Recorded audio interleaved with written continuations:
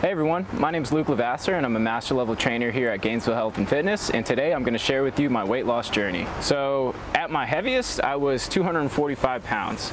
Uh, there was one day in my sophomore year of college, it was towards the end of my sophomore year in college where I stepped on the scale and I saw the weight projected back at me. So that's where I decided to kind of turn everything around and make a lot of different changes in my life in order to make sure that uh, you know I was someone that was going to be able to help people um, accomplish their goals but you know I've also lived through that experience as well too, so I actually know how uh, people feel when you know you, you reach that weight and you're very unhappy, um, or you see see a weight that you know you've never thought you would see before in your life, and uh, I know the struggles and I know the dedication, consistency that you need in order to uh, you know kind of turn your life around and, and change and make some drastic changes in order to better yourself and better your health. Once I started jump roping, you know, it, it really drastically changed, or it changed my body. I could see a lot of different changes with that.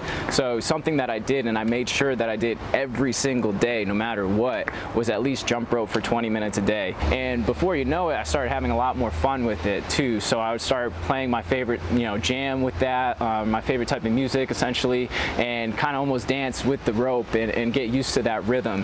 Um, and before you know it, that 20 minutes turned into 30 minutes, and then that 30 minutes turned into 40 minutes. It was just something that I really enjoyed doing at the time.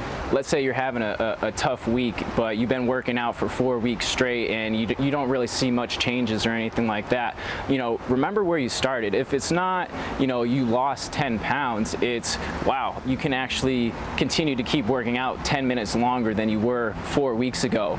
Or something that was very challenging to you when you first started, now is a breeze. You know, I see it all the time with my clients where we'll start the dynamic warm-up and it, it requires some balance and coordination, but within two, three weeks, you know, that balance and they've gained that balance and coordination just by you know practice and continuing to keep uh, doing what they're doing and staying consistent with it.